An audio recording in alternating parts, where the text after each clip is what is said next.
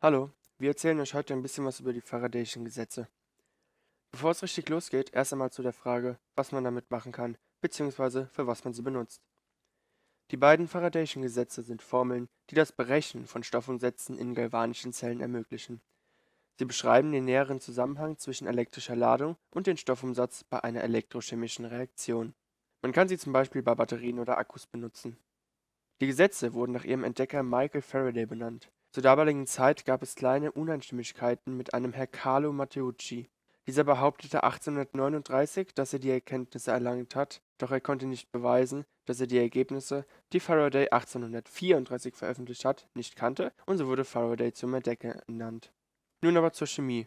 Die Gesetze bilden die Grundlage für die heutige Elektrochemie und der Elektrolyse. Eine Elektrolyse stellt hierbei einen Prozess dar, bei dem ein elektrischer Strom eine Redoxreaktion erzwingt die Hauptbestandteile sind das Elektrolyt und die Elektroden. Faraday bezeichnet eine Flüssigkeit oder eine Lösung, die eine elektrische Leitfähigkeit besitzt, als Elektrolyt.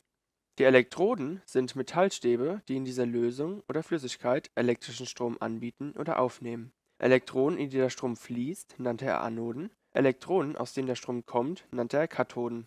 Nun nähern wir uns schon langsam dem Experiment, aber jetzt kommen erstmal die Gesetze an sich.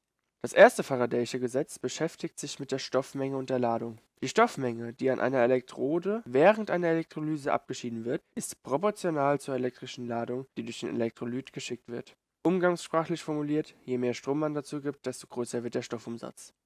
Das zweite beschäftigt sich mit der Atommasse und der Wertigkeit. Die durch eine bestimmte Ladungsmenge abgeschiedene Masse eines Elements ist proportional zur Atommasse des abgeschiedenen Elements und umgekehrt proportional zu seiner Wertigkeit. Das heißt, je größer die Atommasse, desto mehr Masse wird abgeschieden und je niedriger die Wertigkeit, desto größer ist der Stoffumsatz. Nun zum Experiment. In unserem Experiment zersetzen wir Schwefelsäure in Wasserstoff und den Schwefelrest.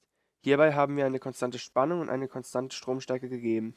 Die Platinelektroden werden in die hochätzende Schwefelsäure gegeben, in unserem Beispiel von unten, und es wird eine Spannung angelegt, sodass immer genug Ladungsträger für die Reaktion da sind.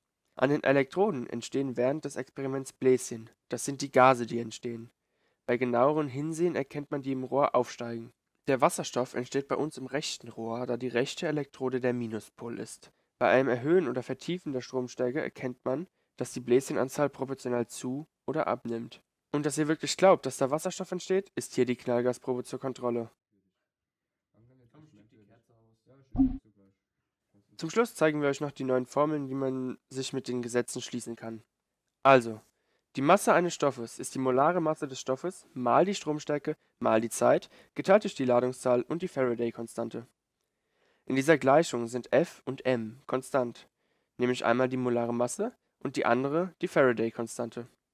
Diese ist die elektrische Ladung eines Mols geladener Ionen und beträgt 96.485,33289 Coulomb pro Mol und wurde aus der Avogadro-Konstante und der Elementarladung errechnet.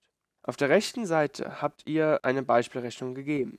Pausiert nun das Video und versucht euer Glück, um die Masse des entstandenen Wasserstoffs herauszufinden. Die Lösung gibt es, wenn ihr weiterschaut. Hier könnt ihr eure Ergebnisse vergleichen. Am Ende sollten 1,87 Milligramm herauskommen. Hattet ihr Probleme, solltet ihr am besten nochmal euren Lehrer um Hilfe bitten. Das war unser Video zu den Faradayschen Gesetzen. Wir hoffen, euch hat es gefallen und ihr habt es wenigstens ein bisschen verstanden.